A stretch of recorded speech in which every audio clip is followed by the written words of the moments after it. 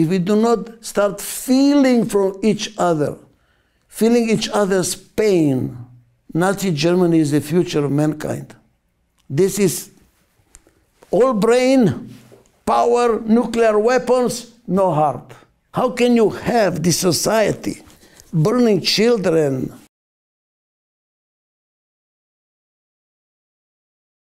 Can you tell us, please, what was the worst thing that happened to you in a concentration camp? The worst thing that uh, was that I saw my grandparents and my uncles that I loved dearly. They were very, very, I was very close to my grandparents, very, very close. Being put on a train and sent to Treblinka to die. That was the most difficult time, and I was only five years old. March 1943. What did you feel at that moment when you saw this train leaving? The feeling of being helpless, that there is nothing we can do. It was my grandmother I was very close to. In the concentration camp, they gave us food only once a day, and it was a bean soup, mostly water with very few beans. And I was a little child, I was crying, I was hungry. So she would give me her portions and saying, I'm going to die anyway, I'm old, have it for you. She gave me all her portions. She did not eat. So that woman, that grandmother of mine, disappeared from my life. Helplessness. I think that is the only story I have. And the fear that the people that I love will disappear. As I know, there was a case that a fascist have hit you with a rifle buttstock. Why he did it? Well, as I said, I was hungry because they serve us one meal a day, just some bean soup that we had to wait for an hour to get it. And he built a little fountain there and they had golden fish in it. And I was five years old, so I believed that if I can go and I catch one of these golden fish, I can maybe eat it. And I was hungry. So I went to the gold to the fountain, tried to catch a fish. It was Bulgarian fascist, and he just hit me with a rifle in my face, and I became cross-eyed. And because I could not correct my cross-eyed during the war, I lost my sight on my left eye. I don't see on my left eye. At which point of time did you feel closest to death in a concentration camp? The consul of Spain discovered this Jewish community in Kosovo, and he discovered that those people speak Old Spanish. So he could give us passports. But when we were in a concentration camp, the Bulgarian fascists said, anybody with a foreign passport, give it to us to check. My father says, I don't trust them. I will not give them the passport. So 11 families gave the passport, never saw the passport again, and they all perished in Treblinka.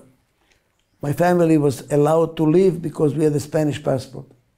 And we escaped over the mountains to Albania, where we hid among the Muslims. We were hiding there in the mountains, no water, no running water, no electricity for sure. A very primitive life. I watched the road through this window to see if the German army would stop or keep moving, waiting for freedom. There, where you can see a cow and a person walking, we saw this place through the window. And when the shooting started, we would lie down on the floor to avoid getting hit. When my father acted, which he was not. He was dyslexic, he could not read and write, but he was very smart and he decided that he's going to pose as if he's a doctor to take care of the primitive people. And that's how we survived. But he did not like 40 days of Ramadan not to eat. He told me to go to the second floor where those Albanians were living and to be sure that to listen if I can hear my father and my mother eating. And if they do, I should jump on the wooden floor to let them know you can be heard. And he told me, if you don't jump on time and they hear us eating, they will cut our head off. They will kill us. So our life depends on you. Six years old. For 40 days, I was scared if I'm going to miss giving a signal that they can be heard eating. One day I snapped. I snapped. I was out in the field in front of the house, and I think I saw a German soldier. And I was sure they're coming to kill us. And I fainted. And my mother says that for 40 days I was in coma. From time to time I will come out of coma, eat, and then go back to coma screaming and screaming and screaming that I'm going to die. I'm going to die. I'm going to die. Oh, I'm going to die. I'm going to die. How did it happen that you, being a child who had to go through such difficulties, you became a person who invented the most popular integration technology and methodology? Number one is I'm Jewish, but in the Second World War, we paraded as Muslims. So I was a Muslim for two years. Then when I came to United States, I was put with a Catholic family. So I was a Catholic for a month. And all at once I started realizing, wait a moment. God is one for all of us. What is the difference? The difference is in the manual. We are all the same. We are all people. I had that experience in the Second World War. It's in my book. One day I saw the Albanians running with and you know, and with guns and running to the street, to the road. So I ran like a little child after them, and I saw a German soldier, and he was 12. He in a German uniform, scared to death that they're going to kill him. And I was in a, in a Muslim uniform. I scared for my death, for my life. He scared for his life. His, our eyes connected, and I felt sorry for him. I think they killed him. And I made a commitment, I'm going to do something about it. So when the 1958, the first group of German kids came to Israel to establish a relationship between Germany and Israel. And they asked who wants to volunteer to lead them. I stepped forward, I will lead them. In honor of that, of that little kid, I have experience to realize that the boundaries are not there. As I travel the world, I see people are the same. And the corona disease that we have now, pandemic, is a signal. Get together or you're going to die.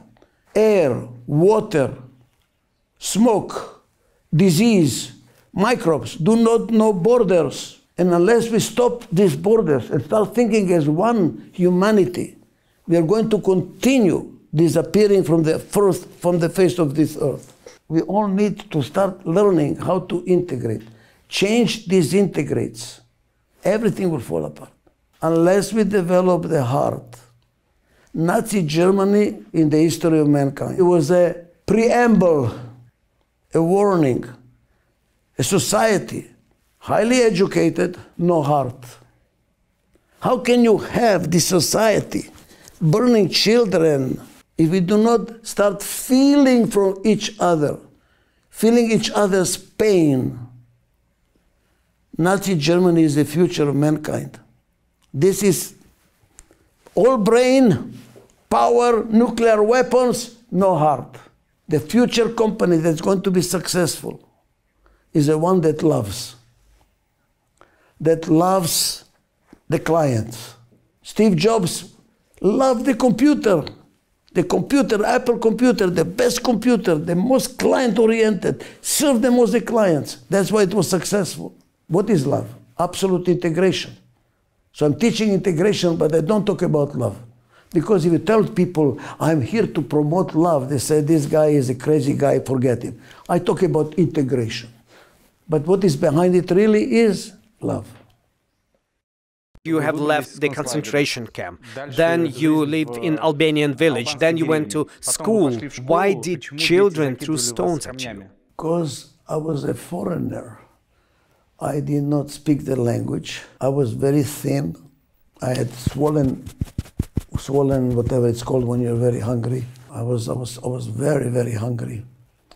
And I was Jewish. Kids can be very, very cruel when somebody is not one of them, when he looks different. The person that was the most cruel to me, his name was Chira. My, uh, the teacher at that time saw that he was beating me up and treating me badly and kicking me. He called both of us in front of the class And he asked the class, look at both of them. Don't they look like brothers? Are we not all brothers? How are they different? They're not different. And then he put us to sit at the same table next to each other. The woman was my biggest enemy. And we became the best friends. This experience that somebody who looks like an enemy can be a friend repeated itself 50 years after the war. Interesting to tell, tell share this story. Uh, as I was trying to open my heart, I tried everything possible psychotherapy. I, I tried everything until nothing worked. Until somebody told me there is a shaman from Peru whom I can help me. So I met the shaman. He looked at me and he said, Your fear, your biggest fear is you're going to die, right? And uh, wow, he hit, he hit it on the head. That permeated 70 years of my life. And then he said, You're fear to death. You have to accept death to be able to live. I will help you. You have to experience death. Experience death. Wow. I'm so scared of death. How am I going to experience death? He says, Don't worry, I'll take care of you. So I trusted him. I was so desperate. I was so desperate to get rid of my trauma of the Second World War that I said, I will do it. And we went to my yacht. I had a yacht. And he gave me an injection that they give in mental hospitals to people when they are out of control, and they're very powerful when they're out of control, madmen. And they totally paralyzes them, total paralysis. So he put me in bed and he told me, when you come out of the injection, you will know what life is all about. I could not see anything. I could not move an, an eyelid, nothing, 100% paralysis. And then something very strange happened. I could feel. First time in my life, I could feel. And then I realized what is life and death all what is hell and heaven all about. Hell is you die. It's not a physical life. It's an emotional life. I realize when you die and they're burying you and people are around your coffin hate you for what you have done to them and you cannot leave because you cannot say, I'm sorry, let me explain to you what happened. There was a reason why I did that. Uh, let me give an explanation. You cannot do that you're dead. And then when I came out of that experience, I was crying, I was weeping, as a matter of fact. And I said, Now I know what life is about to love.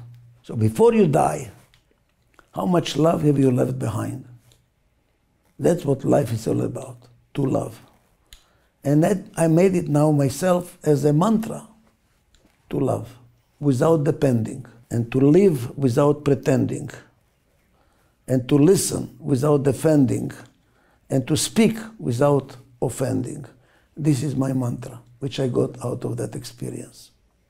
Dr. Adizes, is it true that your father in your childhood was really tough? He could smite you or offend you? I had a very difficult father. A poor guy, I understand him. He was dyslexic at that time. He could not read right. He was kicked out of school at the fourth grade, elementary school. And everybody treated him like retarded, but he was not retarded. He was extremely smart. He, I mean, he saved us during the Second World War.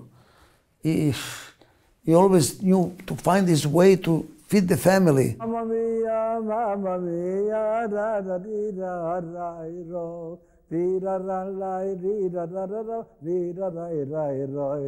Dyslexic people are very smart, but at that time they didn't know it, so they always felt disrespected, shamed. So guess who had to pay the price? Me. So it was tough on me. All his pain passed on to me.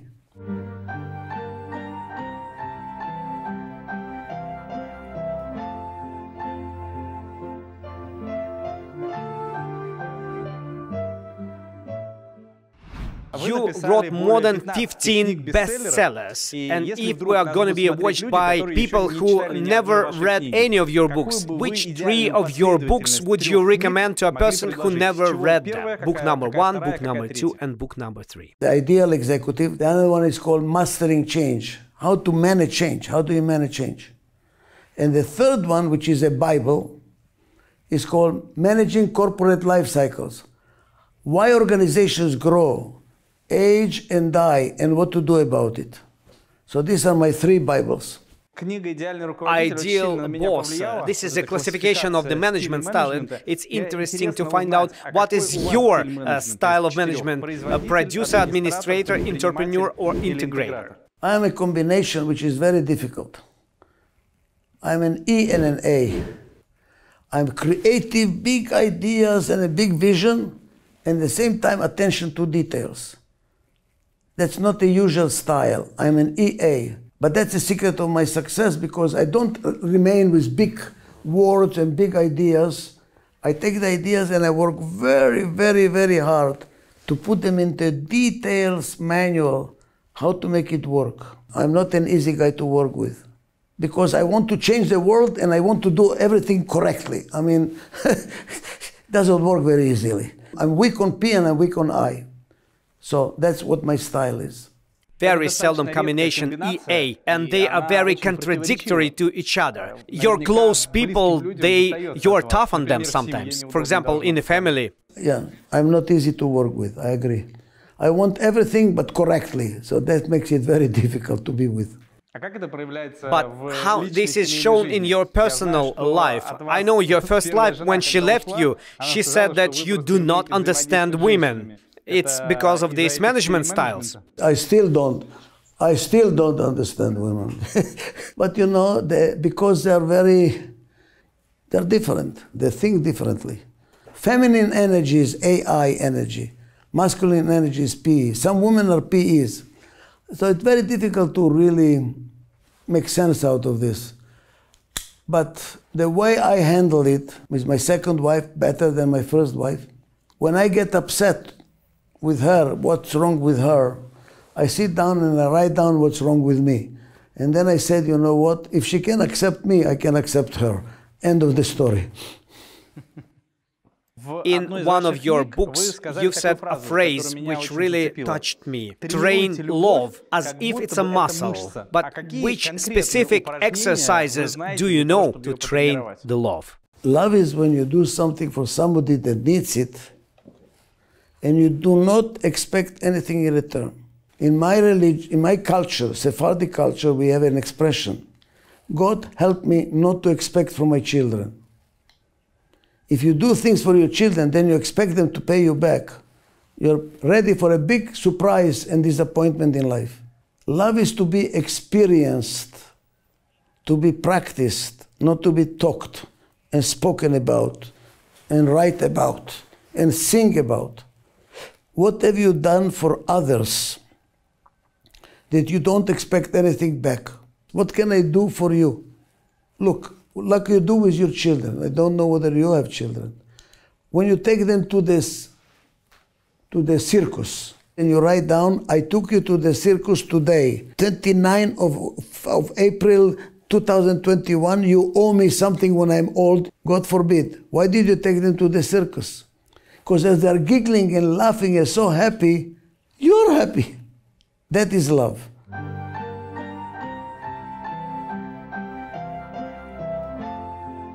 Love is not give and take.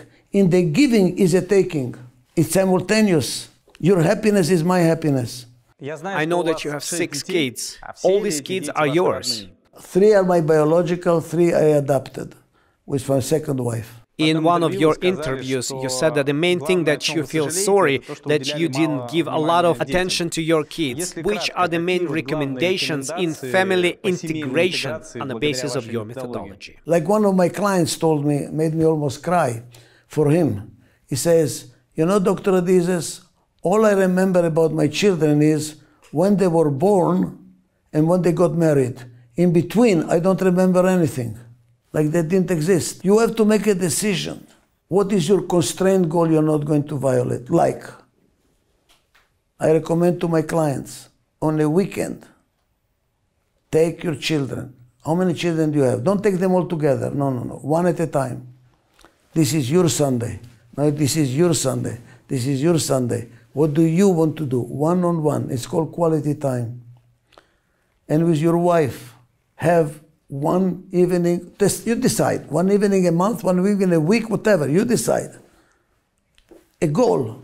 I'm going to take her out to dinner to a nice restaurant, just she and me alone, not with friends, just the two of us alone. They have achieved big results in their lives. One is a well known film director, another is a musician, the third one was managing your academy. Which lessons you were able to take from how you was educated by your father and now you have applied it to bringing up your kids? Both my mother and my father had a rule if you are happy, we are happy. So, what makes you happy? As long as it's legal and it does not hurt your health, go do it. So, I never stopped my children to do what they wanted to do. When my son said, I want to be a movie director, I said, Oh my God, are you crazy? Movie director? I mean, you know, one out of million succeed, you're going to fail, you know, don't go there. He says, But that is my passion, father. Say, if it's your passion, go do it. I'll be calling my mom. She'll be shocked. I have an amazing team here, and I just want to thank them, but I just also really want to thank the participants who opened their hearts up to us.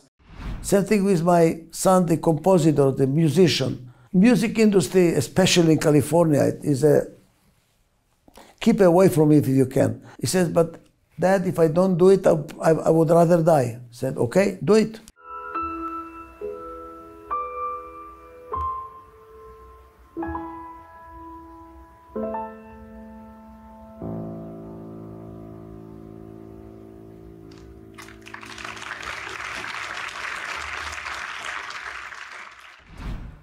Do your passion. So my message is let your children live their passion. And I say something to my children do what you love, then you will never work. That's why I cannot retire. For me to retire is a punishment. What will I do if I retire? Tell a painter, stop painting, go retire. Many successful people has gone through a lot of great suffering to become who they are now. And when we become parents, we try to protect our children from hardships and problems. Don't you think that such parents deprive their children of the opportunity to become great? Okay, there is a story. The butterfly first is in a cocoon, right? Then it gets out of the cocoon and becomes a butterfly, right? And the story is about a guy watching a butterfly struggling to get out of the cocoon. And he tried to help her.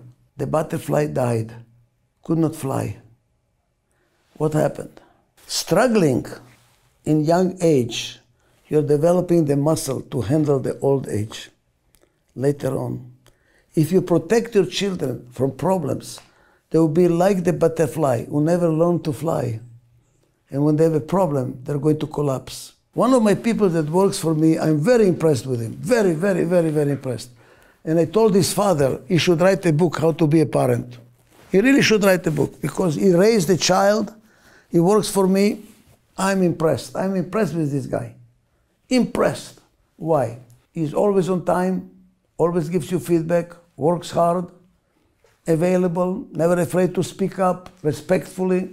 Wow. How did you raise this? He's only 23 years old. How did your father raise you to be like this? What is the secret? He says, My father never gave me an allowance which we always give the children an allowance, right? No. Very early age. And the father told him, as long as you're under my roof, my rules of the family. Do what I tell you. You're under my roof. I feed you, my roof. The moment you leave the house, you're on your own. Don't ask for any help because I will not give you. This guy grew up strong.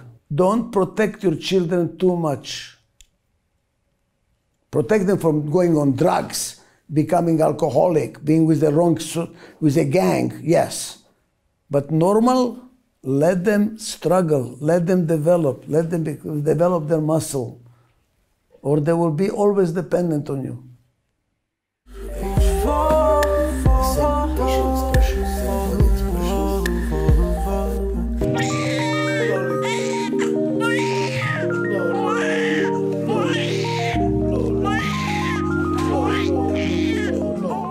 I started working at the age of 11, selling newspapers on the street. So I was bringing food to the house. I was feeding the house, my family at the age of 11. I came to America with $50 in my pocket. My father did not give me one cent. $50 and an accordion. I slept the first night in America, in New York, in the back seat of a car that somebody let me use. I did it all by my own hands. Thanks to my father. Thanks to my father. And he told me, when I die, I will give you nothing. There's going to be no inheritance. Build your own. Mother, what do you want to know about Ichak? He became a famous professor, the most famous in the world. Look at him now. He's like a king, mother. Dr. Adizes, due to the fact that we are making interview for internet environment, there is a chance that this video in 100 years will be viewed by your great grandsons. Let's imagine that something like this would happen. Which advice would you give to your great great grandchildren? Which advice would you give them from now? If I just tell you the words, they look too superficial. So let me give you the base of it. When the Big Bang happened and the universe was created, what happened? Time and space started. If time and space started with the Big Bang, which means before the Big Bang, there was something that was not limited by time and space. What is not limited by time and space? Energy. There was energy. That energy can be constructive or it can be destructive. What makes it constructive? If there is synergy, together we grow. And if there is symbiosis, if we benefit by being together. What is God? God is not a father in heaven looking down, you're a bad boy, you will be punished, you're a good boy, you will be rewarded. God is an algorithm, is a formula that says if you have mutual trust and respect, there will be synergy and symbiosis, the energy will be constructive, and you will build something. When there is no mutual trust and respect, there is no synergy, there is no symbiosis, the energy is destructive. The country falls apart. There is no more Yugoslavia. There is no more Soviet Union. And if America continues the way it's going to be, there's going to be no more America. We are falling apart here. There is no mutual trust and respect. So, what I will tell my grandchildren is anything that causes you to lose respect for yourself or to respect other people is forbidden. Anything that makes you not trust yourself or not trust others, get out. Follow God will. God's will is honor each other difference and share the benefits of what you create together. That is the secret. That is my message. I know that you have been working with Sberbank, which in the last 10 years have big transformation where old ladies were queuing and it became progressive IT company and you know German Gref. Can you list specific recommendations that you gave him when you've been communicating with him? Herman Gref gives me a lot of credit. We work with, and by the way, look at the ads, all about love. I, I admire Gref a lot. I think Gref is one of the best executives and a human being I've met in my 50 years of experience. For me, he is first and foremost an example of person with absolutely inexhaustible energy and a very well structured mindset. So, it's the combination of his wisdom, very clear thinking and huge personal energy. This is not something you encounter in the market often. Before I work with Sberbank, I work with Bank of America, so you have to understand where I'm coming from. And when I ask what is Bank of America about, they take savings on which they pay interest, give loans on which they charge interest, and the difference is the profit of the bank. And then in 1982, I already realized, hey guys, the banking industry is dead. There is competition on both sides, on demand and supply. You don't need to take a loan from a bank. You can take a loan from private equity funds, from investors, stock market. And in Bank of America, I told them, guys, we need to move away from being a bank to be, to be a financial services company. We give you advice as a private bank for fee. We give you, we manage your trust for fee, fee based. So when I came to Sberbank, one of the advisors I said is, how do you get beyond being a bank? Beyond being a bank. How can you diversify what you do? And then I worked with them on the structure. But you have to do what Alibaba is doing. Alibaba is a payment system. Now that you, I have you as my client on a payment system, and you're using money to pay, you can pay many things. Why don't we use a channel to sell you everything? Furniture, food, cars, anything that's Alibaba system around the payment system. So now a, a bank is not a financial services, it's becoming a big sales channel that is competing with Amazon. Forget Amazon now. The future is really Alibaba's model. It's called super app, superior application, totally beyond. So the idea is change. Have you changed at all the last three years, Pavel, in your advertising agency? what percentage of your revenue comes from products or services you did not have three years ago? At least 30% of your revenue should come from something that did not exist three years ago. That is the principle. At least 30%. Former CEO of Bank of America said that the Adizes methodology has improved internal communications by encouraging team management habits. Can you list three main signs of a company with big internal integration problems? Everything is a system, and a company is a system. A system is composed by definition, by subsystems. So you have the marketing subsystem, you have the sales subsystem, production subsystem, financial subsystem, human capital subsystem. Marketing changes faster than sales. Marketing, marketing campaign, done. To change sales effort, to retrain the salesman and to retrain the customer to the new sale takes a little bit longer. How much longer does it take to change production? Oh my God. And how long does it take to change accounting? You should live long enough. And how long does it take to change the human capital? Attitudes of people, culture of people. Wow. That creates gaps in the system because they don't advance in the same speed. It creates disintegration. Change causes disintegration. Marketing says we do this, sales is not ready yet. And because of that, they're not working together. Production says, What the hell are you doing? I mean, you're already selling something we cannot deliver. That's what happened to Tesla. He was selling faster than he could produce. And he had a problem. Okay? Or we are selling faster, but they don't have enough money. Oppa, we have a financial problem, not enough working capital. Or we have the money, we have the market, we have the product, we don't have the people. The people are not ready yet. Where do we get the people? That are all signs of disintegration that the subsystems have moved faster from, the, from each other. And the idea is here is a take on value. Don't allow any one to go too fast than the other. Keep them aligned. Alignment. I have a company that we helped go from $12 million to $4 billion. And they asked the owner, Stewart Resnick, what is your secret? He says, alignment of the subsystems. Alignment, alignment. What's called integrated growth, not disintegrating growth. Integrated growth. Always watch that they are aligned. That's also called teamwork.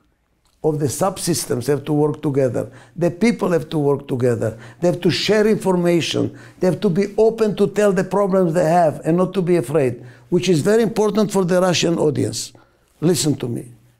You really have a problem in Russia, which I know from working in Russia. I'll tell you what happened. I was lecturing and I was using an overhead projector at that time. You write on that and it projects. By mistake, the page moved to the side. So all the people had to look at the, at the, at the screen like this.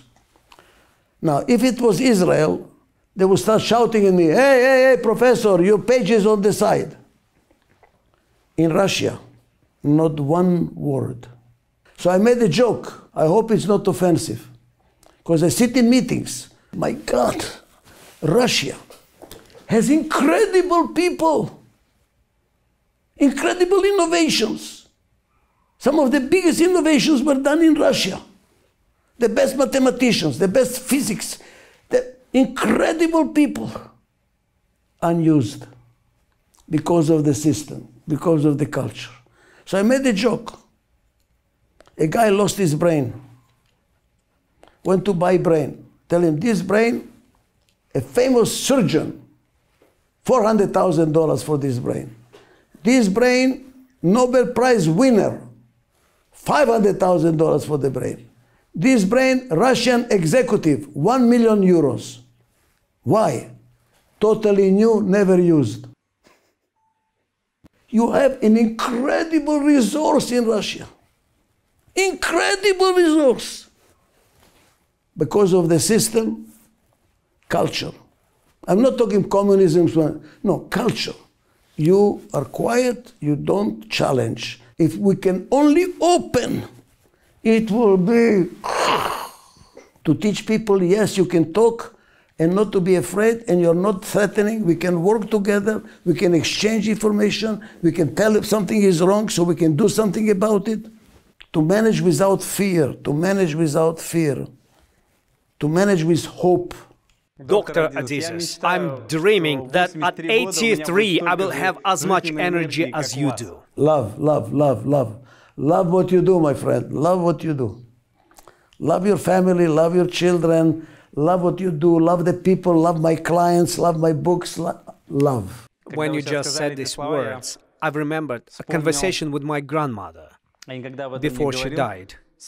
She was very old, she felt very bad, and we knew that she had few days left.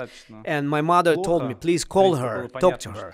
So I've spoke with her for several minutes, and she always was happy person and I remembered her words. I never told them to anybody, but now you told me and I remembered. She told me, love each other. And she repeated it several times, love each other. And perhaps this is the most important thing when people come to this discovery before the deathbed. There is a stereotype that business consultants are people who only confuse business. They provide ton of useless charts that nobody will ever use. But because you are a consultant, you have a consulting company, can you give us a specific example of specific company where your work has improved, which has positive financial results from your assistance as a consultant? First of all, I'm not a consultant. Adizes Institute is not in consulting. Unfortunately, they consider us consulting because they don't have another word. I'm into organizational therapy. I'm there to help the company solve the problems they cannot solve. We are there to integrate the company because this integration gives them all the problems. And what is integration? Is healing, to make it a whole, to make it together, that's what the role of therapy is, to integrate, to put you together. I try to forbid to call me a consultant, because consulting is following the allopathic medicine analogy. I'm sick, you know better than me, you're the doctor, I tell you my problem, you give me the solution, and you write down the solution. In therapy, it's upside down. In consulting, you have the question, I have the answer. In therapy, I, the therapist, have the question. You, the patient, have to find the answer. You are responsible to find your problem. You're responsible to find your solution. I will only ask you the questions. So we are really not consultants. We don't write reports. We don't give recommendations. We don't have charts, you know, with tables and all that stuff. This is outdated methodology. That's why Million, billions billions of dollars are wasted on consulting.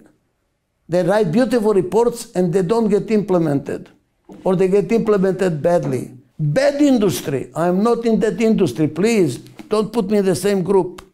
We are not. Adizes is a paradigm shift in the field of managing change.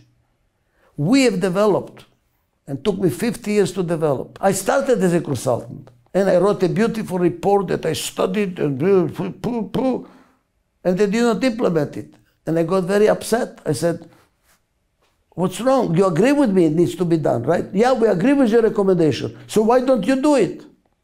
And then I realize it's not good enough to decide. Implementation is what the problem is. And the consulting industry does not deal with implementation. They leave you there with the problem. I said I'm going to develop a methodology that is implementation oriented. The companies that we work in, they implement why? Because it's their decision. It is their problem they agree to. It is their solution they agree to. And we know how to bring all the, all the factors necessary together to make a decision together. So nobody make, puts sticks in the wheels to stop the implementation. You see, I integrated the two. It is a different methodology. Uh, this is a different methodology. Because if you go to our website, adizes.com, you will see uh, testimonials of companies. Uh, for instance, this company for 12 million to 4 billion, the company is called Wonderful, privately owned. They own Fiji Water. I know you have it in Russia. I drank it. Fiji Water, they own the biggest farm in America. They have, I think, 60% of the pistachio market. They started with $12 million. Another company in, in Mexico, I'm still working with them. We started from a capitalization of, sorry, uh, uh, worth of 250 million. Today it's 15 billion. 15 billion. And now we are working on how to make it a 50 billion dollars. Integrated advance. Applied material, we went from 400 million to 15 billion dollars to. Domino Pizza from 150 million also to 4 billion. And these are all testimonials in our website name of the president, name of the company. So this is not hearsay. They said thanks to Dr. Adizes. So it's not a secret. We now tell you how, how to work together. Look at this. This is a symbol of Adizes. What do you see? Four fingers together. That's why in the Middle East it's called a hamsa. It's a blessing. Go to your church, any church in Russia. Your saints are standing like this. What the hell is this? It's a blessing. Be together, different together, different together. And what did communism, fascism, racism, and religious fanatism do? Be together the same. Death. Disintegration. What we need to learn is how to be different together in our marriage, in our company, in our country, and on the globe. Several questions from our Telegram chat. People have possibility to ask them through me, so I would like to do that. When company faces a lot of problems, how can one recognize the need to close it down and start from the scratch? When you lost hope, as long as you have hope, you can keep going. What kept the Jewish people going for 2,000 years? Other people disappeared. We still keep going in spite of the persecution, in spite of being spread all over the world, in spite of being maimed and killed and burned and gassed, we always have hope. Every prayer, hope. So as long as you have hope, you can still keep going. The day you lose hope, it's finished. So one of the important things that a leader has to give to the country, to the company, a parent to the family, hope, realistic hope. We are working on it. It will be better. We are together. Tomorrow is a new day. Keep going. That's a good leader. That's a good parent. That's a good leader of a company. Hope.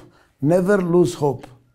Next question from э, my friend. When he was young, he built a company with a revenue of almost a billion dollars. What, according to your opinion, person should remember when he is 35 to continue being happy when he is 80? The expression is If you stop growing, you start dying. And it looks like 1 billion is not enough. He has to go to 2 billion and 3 billion and 4 billion and 5 billion. Not true. Not true. You can grow two different ways. More is better or better is more. I'm claiming that humanity is destroying itself because we are still working on more, more, more, more economic growth, more economic growth. We are destroying the air, we are destroying the water, we are destroying the earth, we are destroying everything. More, more, more. We need to change, for more is better. A better society, a better environment, a better company, a better marriage, less crime, better health. Change orientation Many times we confuse, we believe more is better. Not true. Some people have three cars in the garage, five houses all over the world, and two aeroplanes, and they're miserable. More is not better. Better can be more. So start thinking, what can I do to make my life better? We have only blitz questions money, power, or fame. If I have a choice, I'll take power. Because fame can be very shallow and money goes and comes. Power can create power, power can create money, and power can create fame. Does humanity need immortality? No.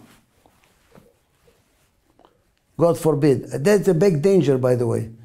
We are really starting to talk about immortality creating everything artificial limbs, artificial heart, artificial brain, put a chip, you don't need the brain anymore, you have a chip and connect to the, the cloud. Oh my God, to live forever. Just imagine the whole world living forever. No young people, no continuity. God forbid we learn how to clone people. God forbid we prevent people from dying. We need to die for new generations to be born. Ваша фраза. You said that a period from 2020 till 2025 will be remembered in history as the biggest disaster in history. Why? Where did you get this? I, I don't think I said it, but maybe somebody interpreted it this way. No, I don't think so. I think that we are at the intersection of civilization. We are now at the intersection that we are developing the brain, we are developing artificial intelligence, we are developing powerful computers. Lead wars with computers. We are not using our brain. You know, you don't use your brain anymore. You use the Siri, ask questions to Siri, ask the cloud. You know, everything is now technology based. And that's scary to me because, as I said, if we don't develop the heart, we are on our way to become another Nazi Germany. That's why we are in the intersection. Intersection between Nazi Germany, Armageddon, or happiness, unity, humanity, love. That we are at that intersection. We are right there at the intersection now, at this today. And I'm worried. I think we are going to go that way. This is very difficult to develop love and understanding and integration. That's hard work. Destruction is very easy. How many people look at a house being built? How many people look at a house that's going to be demolished? Everybody is looking at the house going to be destroyed. Destruction is attractive. Building is very slow and not as attractive. So I am worried. I have a funny question from our Telegram chat. It has a uh, funny context in Russia, but also has a meaning to our conversation because we speak through this internet bridge. The question follows, Dr. Adizes, is that you? Is it truly you? There are multiple me's. I'm not alone. If you know my methodology, it's my P, my A, my E, my I. Different people. That's why I'm in argument with myself all the time. I just thought about it this morning, by the way. I just thought about it this morning. They say that happiness is a choice we make.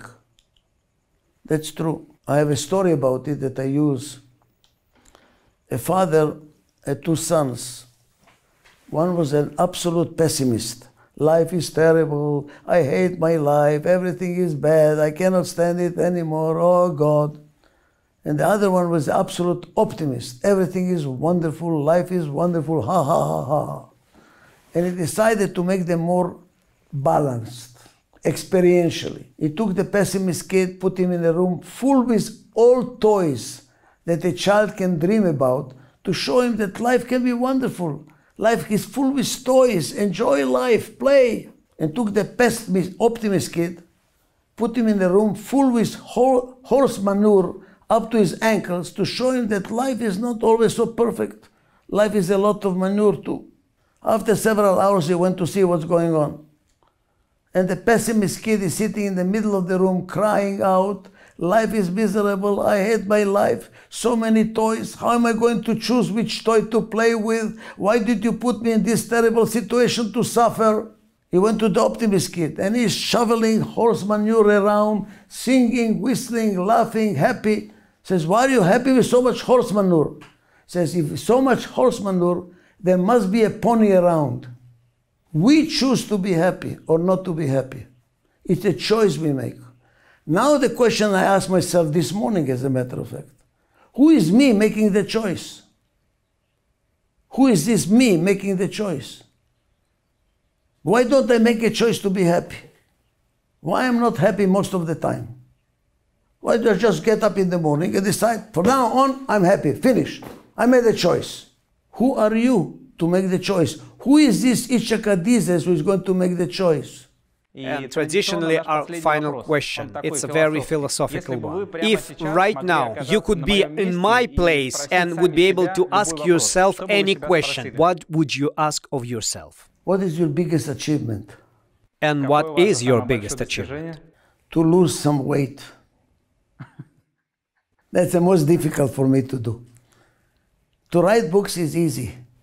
To philosophize is easy. To be successful consultant easy. To lose one kilo, very difficult. Dr. Adizes, you are 83 years old. Personally, you've been helping to presidents of countries. You've helped thousands of companies. You've read books that have been read by millions of people. But I would like to ask you, about a gift to those people who will watch this video, the most valuable gift that you will give them, your time. 30 minute session to one of the subscribers who will give the best comment. Okay, you got it. It was a very good interview. I really appreciate very intelligent, very to the point. So you, I'm happy to give the present. Let's make competition. What should people write in a comment so that we will be able to choose the most interesting comment? So what's going to be homework that we should give to people to write about? What do you think what Dr. Adizes said? What do you think? What made the most sense to you? What did you take home that has value to you the most? What are you going to take with you and use? Because if not, nobody uses what I'm saying, I just wasted two hours of my time. Thank you very much for this opportunity. I know how valuable your time is. And for those people who will watch this video, in the comments under this video, you will have to write a short message, a comment with the main idea that you get from this interview or from other sources where Dr. Adizes were broadcasting his ideas. And the most interesting comment will get a unique opportunity of personal 30-minute session with Dr. Adizes. This is going to be fantastic fantastic. Thank you. Thank you, Pavel. My father, when we left the village after the war, promised that he will come back to build them a well so they don't have to go all the way to the river to fetch water to bring to the house. But for 50 years, Albania was closed. 50 years after the war, the borders opened up.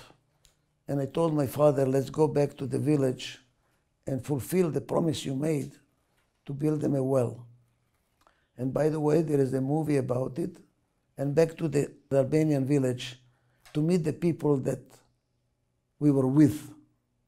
And at that time, I was scared to see them. We came in 95 and we meet them and they're hugging and kissing each other, big love affair. I said, wait a moment, this is the enemy. Oh, where is this love coming from? Director of the documentary film asked these Albanians, Did you know that he was a doctor? And the guy says, he was not a doctor. We knew it, but we did not want him to lose face, so we let him act like a doctor and we fed him anyway. Then he asked them, Did you know that there, that, they, are, that they were Jewish? He said, Oh, we knew it all the time they were Jewish. Let us be and saved our life.